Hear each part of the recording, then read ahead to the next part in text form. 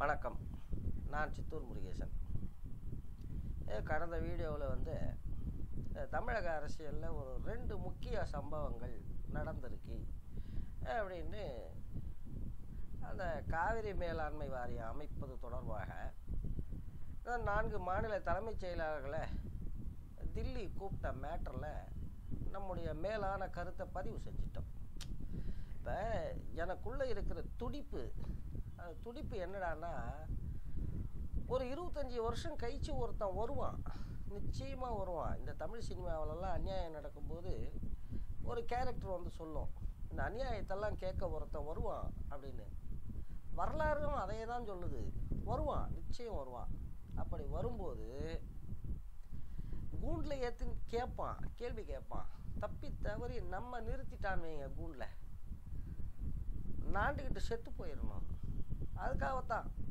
ஏதோ ஒன்று இல்லைப்பா நான் வந்து அந்த காலத்தில் ஏதோ ஒரு மிடில் கிளாஸ் லெவலுக்கு வாழ்ந்துக்கிட்டு இருந்தேன். என்னால் முடிஞ்சது என்னுடைய யூடியூப் வீடியோவில் ஒரு அஞ்சாயிரம் சப்ஸ்கிரைபர்ஸ் இருக்காங்க. அவங்களுக்காச்சும் போய் மெசேஜ் சேரட்டோம்னு நான் என் கருத்தை பதிவு பண்ணிட்டேன். அப்படின்னு சொல்லலாம். குறைஞ்சபட்சம் விளக்கம். சரி அது ஒரு பக்கம். இப்போ கொஞ்சம் ஜாலி மூடுக்கு வந்துடும் ரெண்டாவது சம்பவமே அப்படி தான் காமெடி இந்த ஏசி சண்முகம் ஏசி சண்முகம் ஒரு பட்சி. வாத்தியார் வந்து அந்த காலகட்டத்தில் தன்னுடைய கட்சிக்காரவங்களுக்கெல்லாம் வந்து இடம் கொடுத்து நிலம் கொடுத்து அவங்களையெல்லாம் வந்து கல்வி தந்தை ஆக்கிட்டார் அது நிறைய பெரிய பட்டியல் அது. காமெடி நடிகர்லேருந்து தன்னுடைய பாடி கார்ட்லேருந்து எல்லாருக்கும் திருப்பதியில் லட்டு கொடுப்பாங்க பாருங்க அந்த மாதிரி. வாத்தியாருக்கு யாரெல்லாம் சேவை பண்ணாங்களோ அவங்களுக்கெல்லாம் வந்து சம் ஏக்கர்ஸ் லேண்டு அவர் வந்து கல்வி தந்தை. அதான் இந்த கல்வி தந்தைகளுடைய பின்னணி.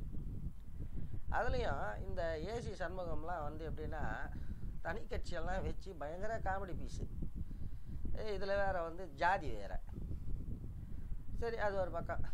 இந்த உத்தமர் இவர் வந்து தன்னுடைய கல்வி நிறுவன வளாகத்தில் எம்ஜிஆர் சிலையை அமைக்கிறார்.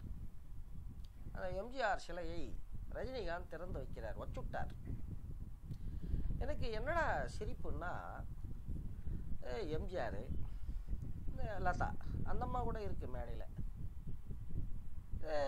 எம்ஜிஆருடைய ரஜினி முடிஞ்சு போச்சு. அதுக்கப்புறம் கமல் ரஜினி வந்துட்டாங்க. நம்ம ஆள் வந்து ஏதோ அந்த லதாங்கிற பேரில் வந்து அவருக்கு ஏதோ ஒரு கண்டம் இருந்திருக்கு பாவம் அது ஏதோ ராங் கனெக்ஷன் ஆகி வாத்தியார் வந்து நம்ம ஆளை தூக்கிட்டு போய் குமுக்கு குமுக்குன்னு குமுக்கி வெளியே விட்டாச்சு. சரி அந்த கடுப்பில் தான் வந்து நம்ம சூப்பர் ஸ்டார் வந்து இப்போ இருக்கிற அம்மையார் லதா அம்மையாரை மணந்து கொண்டார். லதாங்கிற பேரில் வந்து அவருக்கு ஏதோ கெண்டை இருக்கு பாவம். அந்த லதா வாச்சும் பரவாயில்ல. ஏதோ ரூமில் வச்சு குமிக்க அமுச்சிட்டாங்க. இந்த லதா அம்மா வந்து இது எத்தனை வருஷம் ஆச்சு தெரியல. இப்போ வந்து கிளைமேக்ஸ் இது போயிட்டுருக்கு ஒரு பக்கம். எம்ஜிஆரை பொறுத்த வரைக்கும் மற்ற எல்லா விஷயங்கள்லையும் வந்து நமக்கு காட்டமான விமர்சனங்கள் உண்டு. ஆனால் அவருடைய அந்த ஈகை குணம் இது வந்து நான் அனுபவத்திலேயே பார்த்துருக்கேன். கொடுத்தா கர்மம் குறையுது வாங்கினா கர்மம் கூடுது.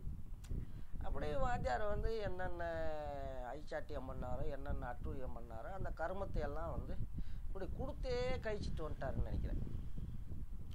வாத்தியார் பேசிக்கலாக வந்து வேற. நம்பியார்லாம் வந்து பாவம் குழந்த மாதிரி எம்ஜிஆரோட கம்பேர் பண்ணேன் ஐ மீன் நான் சொல்கிறது சினிமாவில் வர நம்பியார். இந்த எம்ஜிஆர் வந்து யாரையெல்லாம் வந்து பயங்கர டார்ச்சர் பண்ணாரோ அவங்கெல்லாம் வந்து பயங்கர கடுப்பில் இருப்பாங்க. இந்த ஆள் கை ஓயட்டும். நம்ம பார்த்துக்கலாம். இந்த ஆள் கை ஓயட்டும். பார்த்துக்கலாம். ஆனால் அவங்க கர்மம் என்னடான்னா மறுபடி வாத்தியாரைக்கு சொம்படிக்க வேண்டியதுதான். வாத்தியாருக்கு படம் திறக்கிறது செலவழிக்கிறது இந்த மாதிரி. ரஜினிகாந்த் வந்து எப்படின்னா இப்போ எம்ஜிஆருடைய இலக்கணம் வேறு. ரோஸ் பவுட்ரு லிப்ஸ்டிக்கு தலை கலையக்கூடாது சட்டை நசுங்கக்கூடாது ரிக்ஷாக்காரன் வேஷம் போட்டாலும் டெர்லின் பேண்ட்டை போடணும். இப்படி அவருடைய ரூட்டு நம்ம ஆளுடைய ரூட்டு வேறு. அவர் வந்து மேக்கப் போட மாட்டார். இப்படி நிறைய. அது ஒரு பக்கம். ஒரு காலகட்டம் வரைக்கும் அப்படி தான் ஓடிச்சு வண்டி. அதுக்கப்புறம் இப்போ இவர் வந்து வாத்தியாராக மாறிட்டு வராரு. ஏதோ அந்த ரோபோவில் வந்து வில்லனாக பண்ணார். அது ஒரு டிஃப்ரெண்ட்டு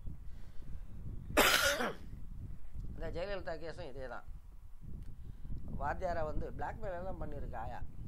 பிளாக்மெயில் பண்ணி தான் வந்து கட்சிக்குள்ளேயே வருது. இது இந்த கும்புதத்தில் தான் நினைக்கிறேன்.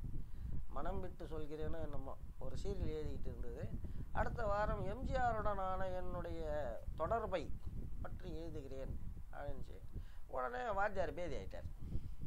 பேதி ஆயிட்டு ஆயாவை கூப்பிட்டு ஏதோ அந்த அம்மாவை இந்த கொள்கை பரப்பு செயலாளராக போட்டாருன்னு நினைக்கிறேன். என்ன கர்மமோ அது ஒரு பக்கம். ஆயாவுக்கு வந்து ஆக்சுவலாக எம்ஜிஆர் மேலே பயங்கர கடுப்பு. நீங்கள் நல்லா வந்து உன்னிப்பாக கவனிக்கிறவராக இருந்தால் தேர்தலுக்கு மூணு மாதம் இருக்கும்போது தான் அண்ணா டிஎம்கே போஸ்டரில் வந்து எம்ஜிஆர் மூஞ்சே வரும். இல்லைன்னா வராது. ஆனால் எலெக்ஷன் டைமில் வந்து கேடு கட்டு போய் மறுபடியும் வாத்தியார் மூஞ்சியே போட்டுக்க வேண்டியது ஓட்டு பிச்சை எடுத்துக்க வேண்டியது அதுக்கப்புறம் வாத்தியார் வந்து குப்பைக்கு போயிடுவார். இப்படி ஜெயலலிதா காலம்? எம்ஜிஆர் ரஜினி எல்லாம் வந்து ஆப்போசிட் போல்ஸ் எம்ஜிஆருக்கு வந்து கடுப்பு. இவன்லாம் நடிகனா? ரஜினிகாந்துக்கு என்ன கடுப்பு? இந்த ஆள்லாம் ஹிப்பாக்ரட்டு அப்படின்னு. எதிர்முனைகள் இதில் வந்து சில மனவியல் பிரச்சனைகள் ஈகோ மோதல்கள் இதெல்லாம் ஜகஜம். இப்போ நான் பேசிக்கிட்டு இருக்கிறத பார்த்தா இலக்கண தமிழில் பேசுகிறவங்களுக்கு கடுப்பாகும். எனக்கு எந்த தமிழில் பேசினாலும் பரவாயில்ல உண்மையை பேசணும். பேசுகிறதே பொய். இதில் கொய்யால பார்த்தா அது என்னது? இலக்கண தமிழில் வேறு வருவானுங்க அது செம கடுப்பாகும். இது ஒரு பக்கம். சரி இந்த சில மேட்டருக்கு வந்துடும் ஒரு மீட்டிங்கில் வந்து எம்ஜிஆர் பேசிகிட்டே இருக்கார். ரஜினிகாந்த் வந்து பாதியில் நுழையிறாரு. உடனே இந்த விஜில் அடிச்சாங்க குஞ்சிங்கெல்லாம் ஒய்யா ஒய்யா ஒய்யா ஒய்யா விஜில் அடி எம்ஜிஆர் செம்ம கடுப்பாயிரு. அது ஆக்சுவலாக வந்து எம்ஜிஆர் ஃபார்முலா டிஎம்கேவில் கலைஞர் எம்ஜிஆர்லாம் ஒன்றா இருக்கிறப்ப எம்ஜிஆர் அப்படி தான் பண்ணுறது கலைஞர் வந்து பாவம் புறநானூறு அகநானூறு எல்லாம் சொல்லி மக்களை அப்படியே மெஸ்மரைஸ் பண்ணி தன்னுடைய கண்ட்ரோலில் வச்சுருப்பார். அந்த நேரத்துக்கு வாத்தியார் வருவார். ஒன்று விஜயில் அடிச்சாங்க கொஞ்சம் உயா உயா உயா இது மாதிரி நிறைய இருக்குது எம்ஜிஆருக்கும் ரஜினிகாந்துக்கும். அதுக்கப்புறம் வந்து இந்த சத்யா மூவிஸ் சத்யா மூவிஸ்லேருந்து இவருடைய ப இவரை வச்சு ஒரு படம் ஒன்று எடுக்கிறாங்க ராணுவ வீரன் அது பர்மிஷன் வாங்குறதுக்கு பாவம் ஆரம்பிக்கிறப்ப தலையால் தண்ணி குடிச்சிருக்கணும். அது போச்சு இருக்கட்டும். இங்கே முரண்பாடுகளை சொல்லிட்டேன். இந்த ஒற்றுமைகளையும் சொல்லணும்ல. எம்ஜிஆர் வந்து சினிமாவில் தான் வீரம்லாம் ரியல் லைஃப்பில் வந்து பாவம் தெனாலி கமல் மாதிரி. நின்னா பயம் உக்காந்தா பயம் நடந்தா பயம் படுத்தா பயம் எந்திரிச்சா பயம். அந்தாலும் சூனாவை நம்ப மாட்டான். இன்டெலிஜென்ஸ் ஐஜி ஒரு ஆள் இருந்தார். மலையாளி. அவர் பேரை மறந்துட்டேன். அவரை வந்து வர வைக்கிறாரு சேம்பருக்கு. வர வச்சு அவர்கிட்ட வில்லங்கமான மேட்டரையே கேட்டுக்கிட்டு இருக்காரு. அந்த போலீஸ் இல்லையா? போலீஸ் மூளை. இந்த கார்பட்டை வந்து அப்படியே இப்படி தடவி தடவி பார்க்குறாரு காலையே பார்த்தா ஒயர் போகுது. என்னடான்னா வாத்தியார் வந்து ரெக்கார்ட் பண்ணிக்கிட்டு இருக்காரு. இந்த ஆளுகிட்ட பேசுகிறத மோகன்தாஸ் அந்த ஐஜி பேர். அவரே சொல்லியிருந்தார் ஏதோ இன்டர்வியூவில் அந்த மாதிரி கேஸு வாத்தியார். எங்கே விட்டேன் வாஜார கேரக்டர் இந்த இது அது என்னது? இந்த உலகம் சுற்றும் வாலிபன் போகிறாங்க ஃபாரின் எக்ஸ்சேஞ்ச் வேணும். அவா இதயம் பேசுகிறது மணியன். அவா ஸ்பெஷாலிட்டி என்னடான்னா திருடுறதுக்கும் அவளே ஸ்கெட்ச் கொடுப்பா. நாம் திருடும் போதே எவிடன்ஸ் எல்லாம் கலெக்ட் பண்ணி வச்சுப்பா. நாளைக்கு நாம் சிக்கிட்டோன்னு வைங்க. அவள் அப்ரூவர் ஆயிடுவா நம்ம தான் வந்து ராட்டினம் ஏற்றுவாங்க ஏரோப்ளைன் ஏற்றுவாங்க அந்த மாதிரி வாத்தியார் சிக்கிட்டார். இன்னும் இந்த இன்கம் டேக்ஸ் பிரச்சனை இருக்கவே இருக்கு. அதை அந்த நேரம் பார்த்து மூக்கா முத்து ஃபீல்டுக்கு வராரு. பாவம் எம்ஜிஆரை கூட சும்மா சொல்லக்கூடாது. எம்ஜிஆர் எல்லாம் வந்து கான்ஃபிடென்ட்டு ஓவர் கான்ஃபிடென்ட்டு கூட முகாமுத்துவனுடைய படத்துக்கு எம்ஜிஆர் தான் கிளாப் அடிக்கிறாரு. அந்த அளவுக்கு செட்ரேட் ஆகிட்டார் எம்ஜிஆர். ஆனால் அங்கேருந்து இப்போ இன்றைக்கி வந்து இந்த ஓபிஎஸ் இபிஎஸ் பிஸ் பிஸ் எல்லாம் எப்படி? அந்த மாதிரி வாஜாரை அமுக்கிட்டாங்க. கோய் குஞ்சு அமுக்கிற மாதிரி. ஃபினிஷ் மேட்ரு ஓவர் அதே போல் வந்து இந்த பிரபாகரன். பிரபாகரனுக்கு பணம் கொடுத்தாரு பணம் கொடுத்தாருன்னு சொல்லுவாங்க. வாத்தியார் ரா ஏஜென்ட்டு பிரபாகரன் ரா ஏஜென்ட்டு அதாவது வந்து இலங்கையை கண்ட்ரோலில் வச்சுக்கணும்னா அவனுக்கு தலைவலியை கொடுக்கணும். அவனுக்கு தலைவலியை கொடுக்கறது யார்? பிரபாகரன். பிரபாகரனுக்கு வந்து பூஸ்ட் பண்ணணும். அது இங்கே ஒரு ஏஜென்ட்டு யார்? வாத்தியார். ஒரு ராய் ஏஜென்ட்டு இன்னொரு ராய் ஏஜென்ட்டுக்கு காசு கொடுத்தாரு. அதான் அங்கே கணக்கு. அதே போல் நம்ம ரஜினிகாந்த்.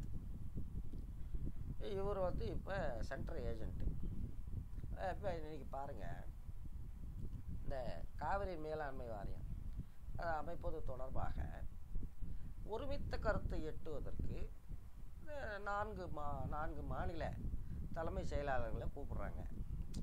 இதுதான் மெயின் ஃபோக்கஸ் நியூஸ் ஜீவாதார பிரச்சனை தான். அங்கே அவன் சேத்தில் கையை வச்சாதான் இங்கே நீங்கள் சோத்தில் கையை வைக்க முடியும். தண்ணி பாய்ஞ்சாதான் நெல் வந்து நிலம் வந்து சேராகும் தண்ணியே விடலைன்னா அதான் மேட்ரு இப்போ இது வந்து அவுட் ஆஃப் ஃபோக்கஸ்க்கு போகணும். அதனால் என்ன பண்ணலாம்? ஒரு சூப்பர் ஸ்டாரு ஒரு புரட்சி நடிகருடைய சிலையை திறந்து வைக்கிறார். இது அவுட் ஆஃப் ஃபோக்கஸ் போயிடுச்சு இது ஒரு படம் கூட வந்தது. நியூஸ் பேப்பரில் மொதல் பேஜில் வர நியூஸுக்கும் எட்டாவது பக்கத்தில் வர நியூஸுக்கும் லிங்க் இருக்கும் எங்கேயோ. அந்த லிங்க் தான் இது. இதெல்லாம் எங்கே தான் போய் முடிய போகுதோ ஒன்றுமே புரியல பயமாக இருக்குது ஆனால் ஒன்று என்னை பொறுத்த வரைக்கும் எப்படின்னா என்னுடைய சக்ஸஸ் ஃபார்முலா ஒன்று இருக்குது நான் வந்து அதை ஃபாலோ பண்ணுறது கிடையாது. ஆனால் எல்லாருக்கும் சஜஸ்ட் பண்ணுறேன் அந்த ஃபார்முலா என்னடான்னா வெக்கம் மானம் சூடு சொரணம் எல்லாத்தையும் விட்டுறணும். அதான் சக்ஸஸ் ஃபார்முலா இப்போ சசிகலா சசிகலா முதல்வர் ஆகுதுன்னா அன்றைக்கே வந்து மாண்புமிகு தமிழக முதல்வர் சசிகலா அவர்களே அப்படின்னு ஒரு வீடியோ லெட்டர் போட்டேன். அதெல்லாம் நாம் கண்டுக்கிறது கிடையாது. கலைஞர் ஆச்சம் இந்த ஜெயலலிதாலாம் வந்தப்போ ரொம்ப கடுப்பாயிட்டார். பால்கனி பாப்பா பால்கனி பாவை நடிகை இப்படியெல்லாம் சொல்லி பார்த்தாரு. அதுக்கப்புறம் அவரும் அம்மையார்ன்ற ரேஞ்சுக்கு வந்துட்டார். நம்ம பொறுத்த வரைக்கும் அதெல்லாம் ஒன்றுமே கிடையாது. நம்ம ரூட் வந்து சிம்பிள் பூனை எந்த நிறமானா இருக்கட்டும். அது எலியை பிடிக்கணும்.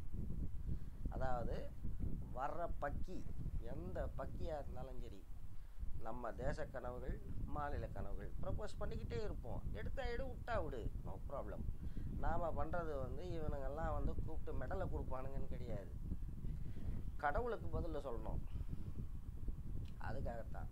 நான் சொன்ன மாதிரி இருபத்தஞ்சி வருஷத்துக்கு அப்புறம் ஒருத்தன் வருவான். என்னடா பண்ணிட்டு இருந்தீங்க இவ்வளோ காலமாம்மா அவனுக்கு சொல்லத்தான் இதெல்லாம். நன்றி வணக்கம். சித்தூரிலிருந்து இருந்து